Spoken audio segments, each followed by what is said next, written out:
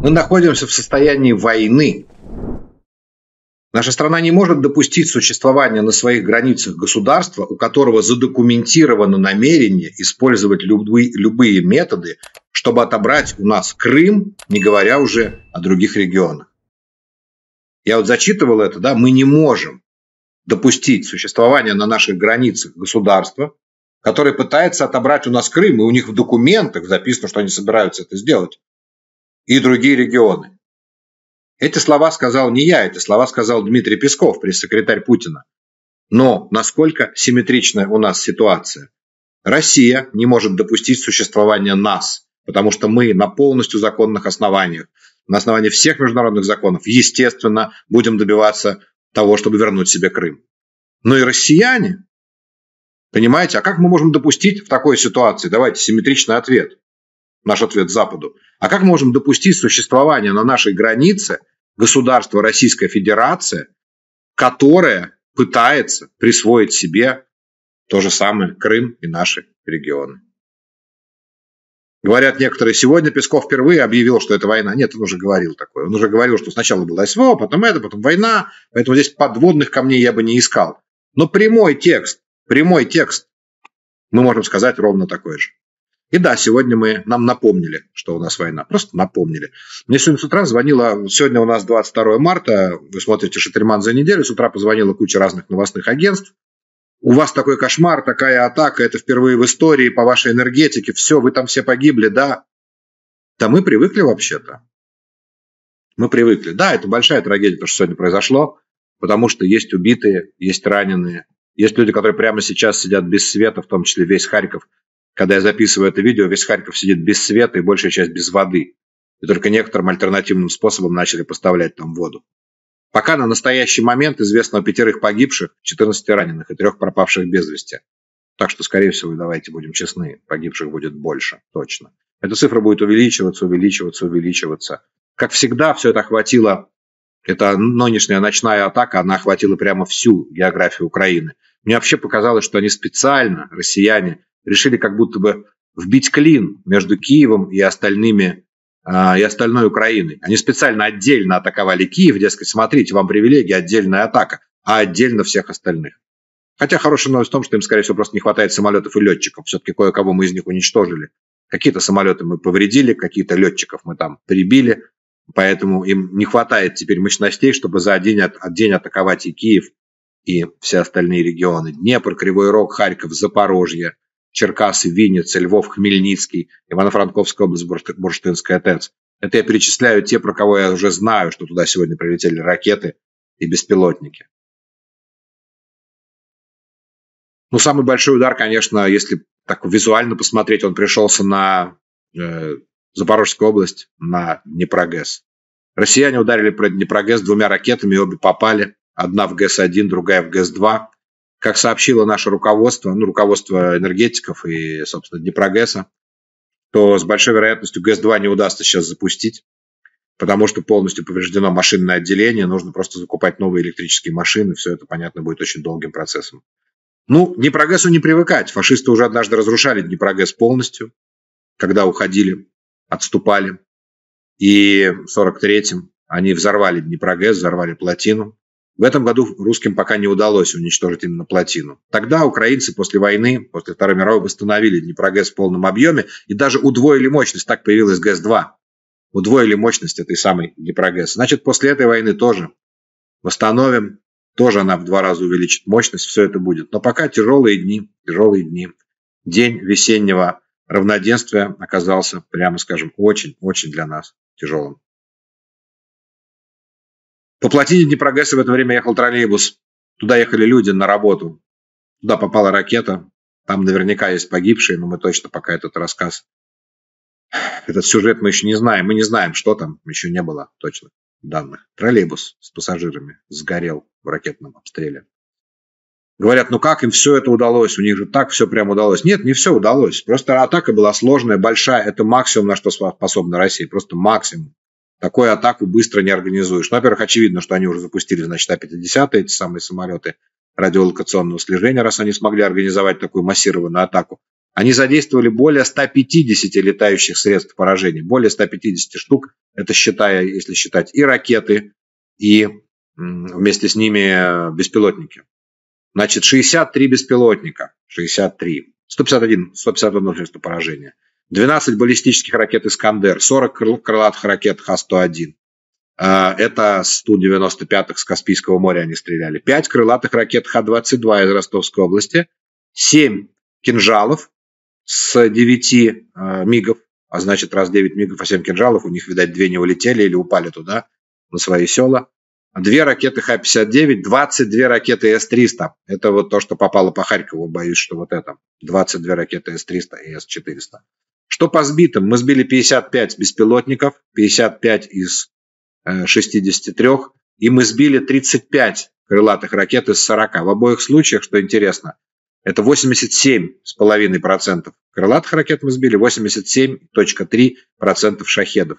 87.3. Напомню, ровно столько набрал Владимир Путин на так называемых выборах президента. Вот столько же процентов, сколько россияне проголосовали за Путина, столько же процентов мы, ну понятно, что не по-настоящему, да? Столько процентов шахедов уже по-настоящему и крылатых ракет мы сбили во время этой атаки. Но, к сожалению, надо признать, есть э, средства поражения, от которых мы не защищены, регионы не защищены. Вот э, кинжалы, почему? Почему попали в Днепрогэс? Почему попали в этот троллейбус? Почему им удалось вырубить электричество и воду в Харькове. Почему им удалось попасть там во что-то в Бурштинской а, ТЭЦ? Потому что все-таки 7, сколько я сказал, 7, да, 7 кинжалов – это очень большая сила. И против них нет противоядия, кроме Патриота. Потому что 22 С-300, кроме Патриота, тоже против них ничего нет. Потому что 55, ой, 5, извините, ракет Х-22 – это тупые, неточные ракеты, на которые тоже попробуй-ка еще сбей чем-нибудь. И э, Искандеры и Искандеры. 12 Искандеров. Тоже, кроме э, Патриота, в общем-то, ничем, к сожалению, не сбиваются. Такая сложная была атака. Но я во всех, и мне звонили из разных стран, просто из разных СМИ, разных стран. Я всем примерно сказал одно и то же. Ребят, мы это уже переживали все. Мы целую зиму так жили. Целую зиму, раз в неделю мы переживали подобные атаки. Каждую неделю прошлой зимой. Только на улице было минус 15, ну, минус 10, минус 15 бывало. А сейчас на улице, по-моему, плюс 10, да, если не ошибаюсь. А это означает, что нагрузка-то на нашу энергосистему гораздо меньше. Это раз. Второе. Мы, э, ну, прям в гораздо большей степени готовы к этой атаке, чем в прошлом году. Плюс 12, кстати говоря, на улице. А сейчас смешные они люди, да, россияне. Решили начать уничтожать нашу энергоэлектроструктуру в тот момент, когда мы уже закрываем отопительный сезон, объявили, что с 1 числа закрываем досрочно отопительный сезон, наш удачно прошли. У нас сейчас, прямо сейчас, когда я записываю этот ролик, три страны Европы снабжают нас электроэнергией, перетекание. Причем нам это не стоит денег, потому что до этого мы их снабжали. Ну, в смысле, мы же поставляли электроэнергию в какие-то дни, у нас переизбыток ее был. В общем, удар серьезный, больной, потому что погибли люди. Больной, потому что ранены люди. Больной, потому что прямо сейчас спасатели занимаются, вот вместо того, чтобы э, сидеть с детьми со своими, да, они занимаются откапыванием живых людей из-под развалин. Поэтому удар неприятный очень. Трагичный, это правда, но не смертельный. Мы все равно выстояли, и энергосистема тоже выстояла. Об этом сказал уже Шмыгаль, премьер-министр, что энергосистема не утратила свою целостность, нет никакого риска, никакого тотального блокаута. Поверьте, прошлой зимой, в ноябре и декабре, когда мы с вами считали дни до весны, было ну в сто раз хуже, в сто. У нас была незащищенная энерго, энергоструктура, не было запчастей, мы не знали, как с этим бороться. Сейчас все все знают, каждый на своем месте делает свое дело последствия будут постепенно ликвидироваться. Держитесь там в Харькове. Ребята, кто... Я знаю, что у вас там отключение, фактически полностью без света. Не знаю, сможете ли вы посмотреть мой выпуск, но слушайте, прошлой зимой не такое смотрели, и я снимал выпуски, как вы помните, при свечах. И все это тоже у нас в жизни уже было. Мы со всем этим встретились не в первый раз. Что случилось с Запорожской АЭС, я отдельно расскажу в сегодняшнем выпуске. А, про это будет отдельный небольшой сюжет. Ну и, конечно, расскажу я сегодня и про вот этот странный поворот истории, когда якобы Соединенные Штаты Америки прям требуют от нас прекратить немедленно удары по российским НПЗ. Да-да-да. Украинская власть уже ответила, что ребята, все спокойно, мы действуем в соответствии со стандартами НАТО, сказала украинская власть, не лезьте к нам, бомбили, бомбим и бомбить будем. Хорошо, дословно это сказано не было, но сути это не меняет. В общем, смотрите с удовольствием сегодняшний выпуск, ставьте мне лайки, подписывайтесь, чтобы не пропустить последствия, о которых я буду рассказывать всего этого. Вот. Ну и приятного просмотра Шательмана за неделю.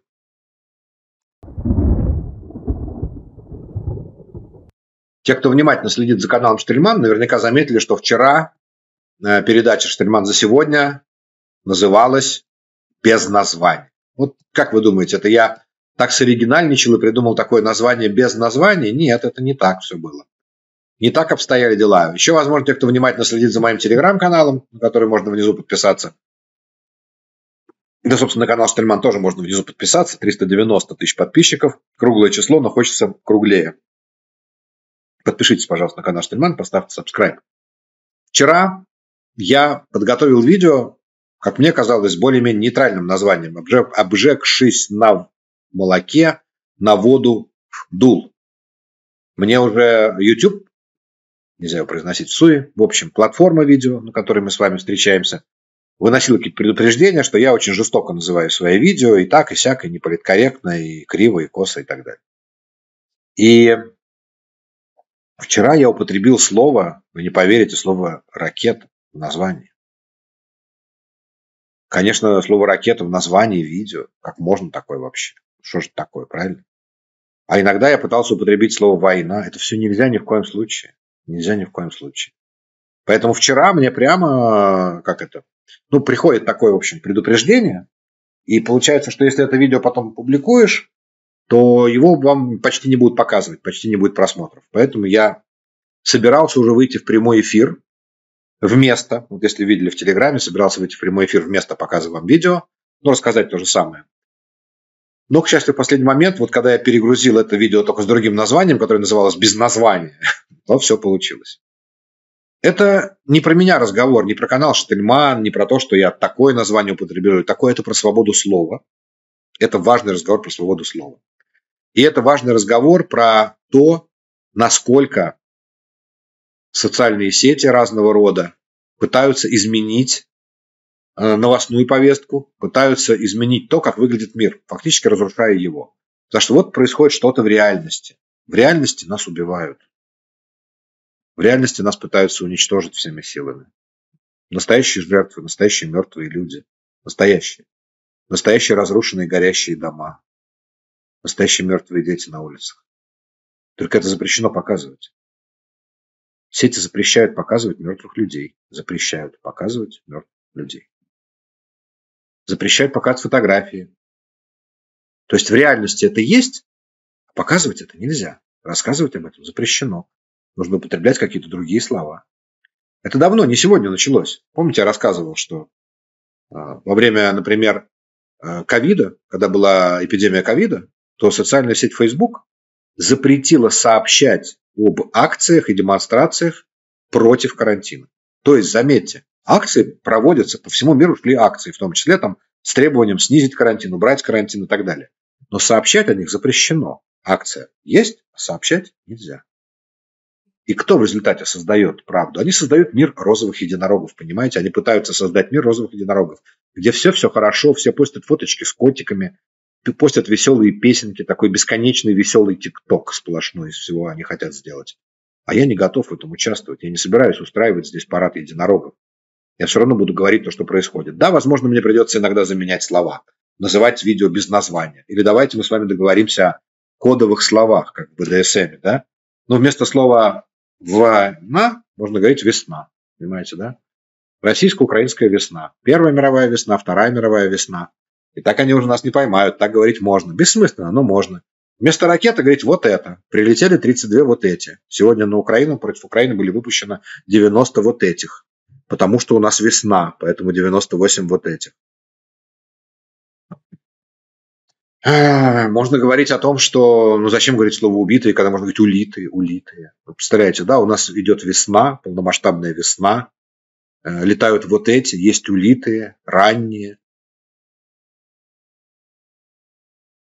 Потом можно говорить, когда говорить о том, что вот Путина осудили за военные преступления, скоро про это запрещат, запретят говорить. Мы будем сообщать, что Пушкина объявили в Ростбиф за весенние представления. Ну, вы же догадаетесь, о чем я, да, если я вам скажу. Вчера Международный суд в Гаге объявил Пушкина в Ростбиф за весенние представления. Вы не подумайте, что это я дислектиком стал. Это просто мне запрещают теперь говорить э, правду, как она есть. Ну, пусть будет так. Будем с вами разговаривать изоповым языком. Многие из вас родились в Советском Союзе, как и я. И мы умели говорить вот таким вот языком, подменяя слова, подменяя понятия, намеки. Стыдно, что мы живем в таком мире. Стыдно. Стыдно, что в 2024 году мир вдруг становится большим Советским Союзом с точки зрения цензуры. Мне лично стыдно за этот мир. Но вот так. Короче, не удивляйтесь теперь любым названием. Вы уж простите, буду их редактировать до последнего. И иногда видео будут называться без названия. Или же вот так. Пуп, Пупкин в Ростбифе, в международном Ростбифе.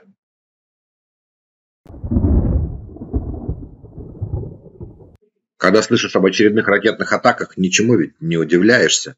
Это так естественно. Мы воюем с россиянами, россияне хотят убить каждого украинца, мы это знаем. И вот они это делают. И делают сегодня ночью, и вчера, и каждый день идут к своей цели.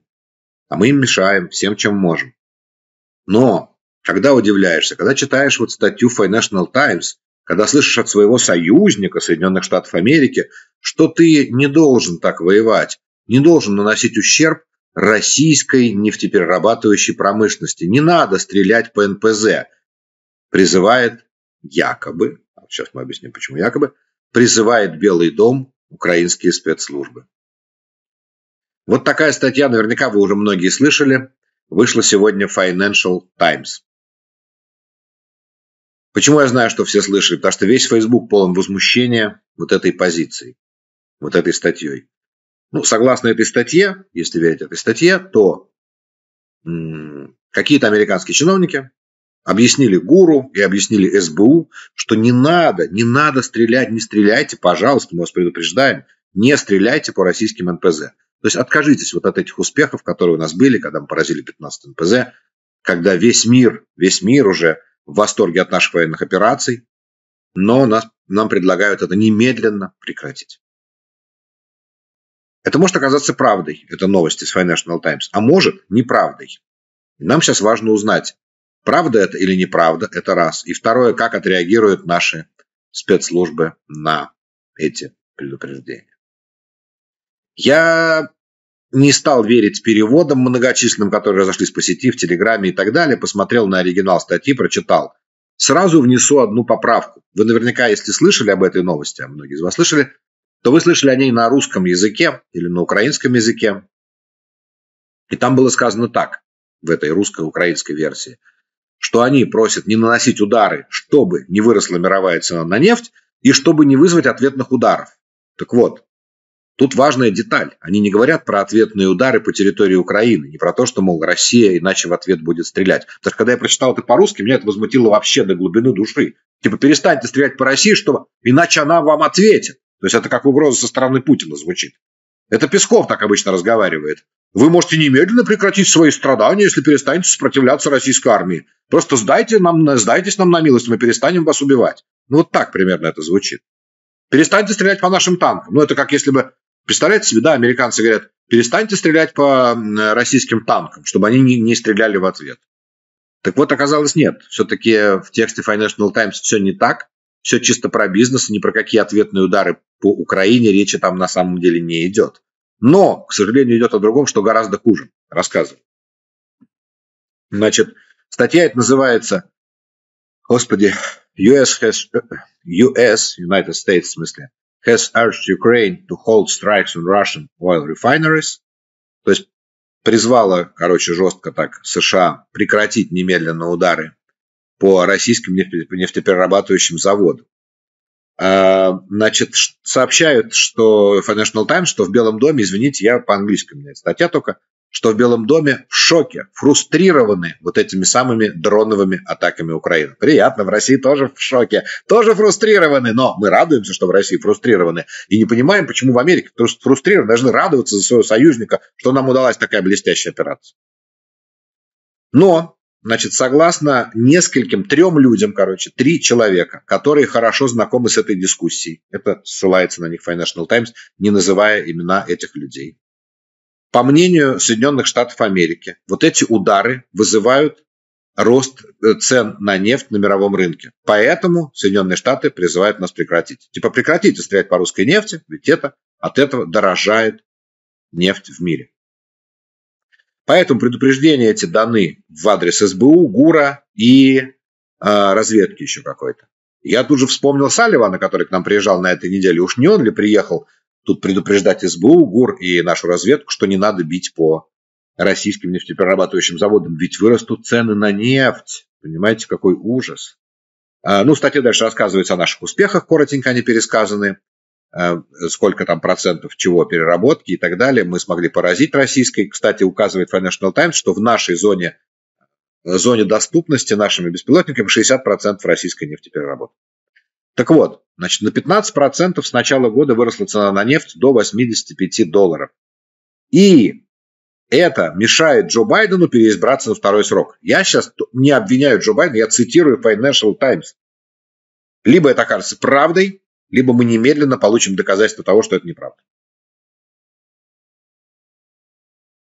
Значит, Отдельно, вот тут, вот тут мы переходим к этой самой точечке про чем еще они недовольны. Так они недовольны тем, что удары по НПЗ повышают мировую цену на нефть.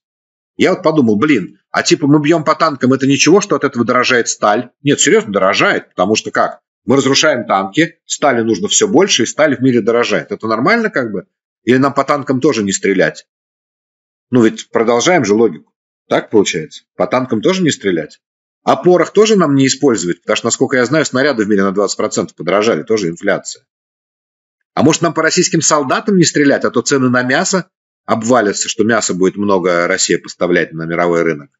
Может как-то так? Ну типа мы должны вот из этих соображений, получается, действовать. Теперь про эти ответные удары. О чем они пишут на самом деле, не то, что было в русскоязычном переводе. Что в Вашингтоне опасаются также ответных ударов России по инфраструктуре нефтяной внутри России. Не по нашей, а внутри России. В чем здесь секрет? Через территорию России проходит а, энергоструктура, которой пользуется Запад, на которую напирается. В частности, из Казахстана идет, э, идут трубы из Казахстана в Европу. Газовые, нефтяные, не знаю.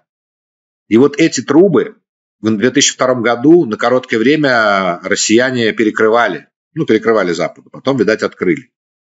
И по мнению, значит, Белого дома, если верить этой статье, от того, что мы бьем по этим самым по нефтеперерабатывающим заводам, россияне могут закрыть эту трубу, которая идет из Казахстана, а от этого пострадают компании ExxonMobil и Chevron, которые из, в Казахстане, так понимаю, добывают этот нефтегаз и по этой трубе его передают. Значит, объясняю Белому дому. Пункт первый. Если россияне могут закрыть трубу, они могут закрыть и так, и так. Это почему именно в ответ на наши удары по нефтепереработке, а в ответ на наши выстрелы по Крымскому мосту, типа они могут закрыть? Тоже могут. А в ответ на то, что мы сбиваем их самолеты, могут? Тоже могут. То есть вы предлагаете нам сдаться? Ну, вы предлагаете нам сдаться конкретно, так получается, потому что иначе упадет прибыль ExxonMobil и Chevron. Так получается статьи. Так получается из этой статьи. Ну и дальше. Вот то, что выросла цена на нефть на 15%, э, как пишет эта статья, что Байдену от этого очень плохо, потому что вот, значит, как они пишут, nothing terrifies a sitting American president more than a surge in pump prices during an election year. Ничто не волнует Байдена так сильно, как э, рост цен на нефть в, его, в год его выборов. Потому что у него одна из целей победить инфляцию в США, и это был большой вопрос, и вроде бы ему это удается. За счет этого растет рейтинг Байдена в том числе, но как только вырастает цена на нефть, растет и инфляция. И они хотят, чтобы мы то есть, занимались регулированием цены на нефть ради успешных выборов Байдена? Нет, серьезно? Вот так вот, да? Ну, в общем, нет пределов нашему возмущению, мне кажется, от такой статьи. Но давайте теперь попробуем разобраться по-честному еще. Все-таки это пока сообщила Financial Times со ссылкой на трех людей. Возможно, такие разговоры были. Ну, на пустом месте Financial Times писать бы такое не стало. Но мы же не знаем, что это за люди. Это люди прямо из администрации Байдена? Это прям Салливан приехал с этим месседжем? Или это какие-то лоббисты нефтяного сектора? Или кто? Ну вот кто это делал? Мы не знаем. Но сейчас самая хорошая возможность ответить. Потому что, как пишет Financial Times, они послали запросы и в администрацию Байдена, кстати, в администрацию Зеленского, в офис Зеленского, и ответов не получили. Правда ли это все? Но теперь, когда они придали это огласке, может быть, пришло время ответить на эти вопросы. Ну, чтобы вышел представитель администрации Байдена сказал, нет, это неправда. Мы совершенно, это личное дело Украины, куда наносить удары. Они раньше говорили, мы не, приве... мы не там, способствуем этим ударам по территории России. Мы уже не способствуем, это наши украинские дроны. Но выйдите и скажите, что это неправда, будет проще, потому что иначе будет очень тяжело. Ведь это обвинение уже не только с нашей украинской стороны. Это сейчас ведь и для американцев получается как. Байден использует как-то вот так хитро, бодро, бодро проигрывать России, требует от Украины проиграть войну России, требует Украину согласиться на то, чтобы Россия успешно завершила геноцид и уничтожение украинского народа ради своего переизбрания. Кривая история, правда, получается. Поэтому мне кажется, что из Белого дома должен быть четкий ответ. И если мы услышим четкий ответ, что нет, это не так, мы ничего подобного не просили, то в этот же день мы должны получить и подтверждение из Украины в виде удара по очередному НПЗ.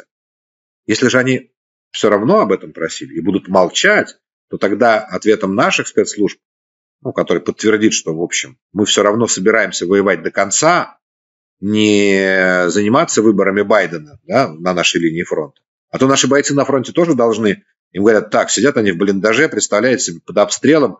Говорят, ребят, сейчас, значит, это артподготовки не будет, потому что у Байдена там рейтинг на 1% упал.